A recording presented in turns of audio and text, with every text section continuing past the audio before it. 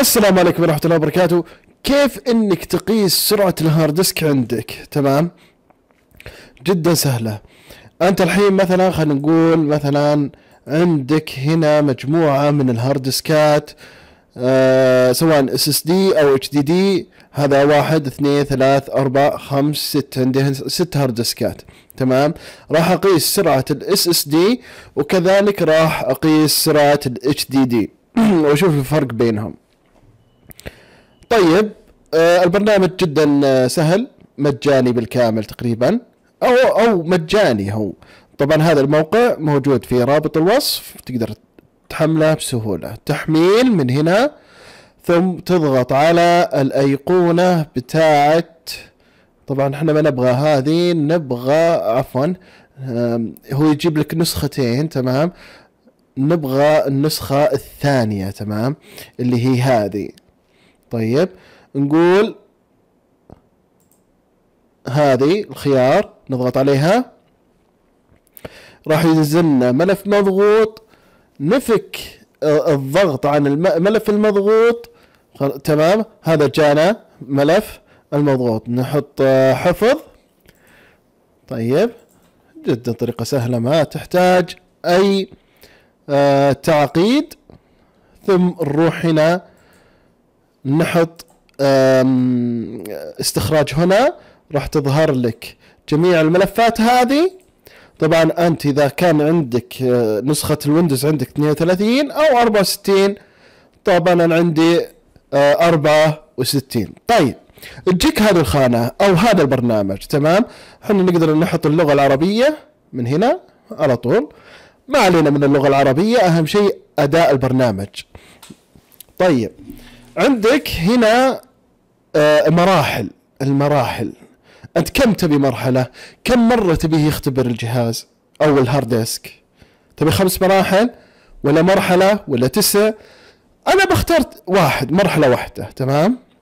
هنا سرعة القراءة وهنا سرعة الكتابة تمام؟ أو أو العكس ما أدري.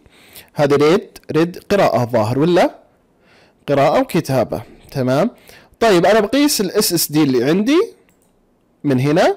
طيب أه حجم ال ال الاختبار اللي راح يختبره. لا أنا بختبره مرة بأقل شيء بس عشان أعطيكم نبذة عن البرنامج. طيب بعدين نضغط هنا. الآن راح يقيس لي سرعه البرنامج بالقراءة والكتابة ويعطيني بالميجا بايت طبعا نقدر نغير الميجا بايت إلى يعني جيجا بايت أو إلى آخره يعني اللي أنت تبغاه. طيب أعطاني سرعة آه مئة وواحد وسبعين. طيب آه الكتابة. طيب هذه النتيجة النهائية. أعطاني آه بالاختبار الأول يعني آه المرحلة الأولى 171 قراءة والكتابة 504 504 طيب إحنا خلينا نهتم بالخيار الأول لأنه هو الرقم الأول ولكن الرقم الكبير يعني مرة يعني مثل ما تقول يعمل بأقصى الظروف بأقصى الظروف والله أعلم يعني أنه آه، يصير سرعته بالشكل هذا إذا كان بأقصى الظروف. طيب الحين بنقيس الاتش دي دي ونشوف آه كم تبي تعطينا من البيانات. طبعا أنت تقدر تختار اللي هنا. يعني جربوها ما راح تخسرون أي شيء.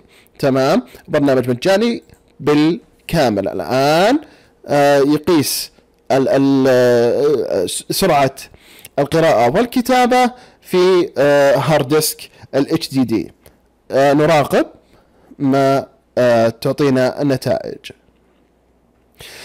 طبعا هي العملية هذه تاخذ وقت شوي يعني تاخذ خمس دقائق أو ثلاث دقائق تقريبا على حسب سرعة ال hard disk اللي عندك.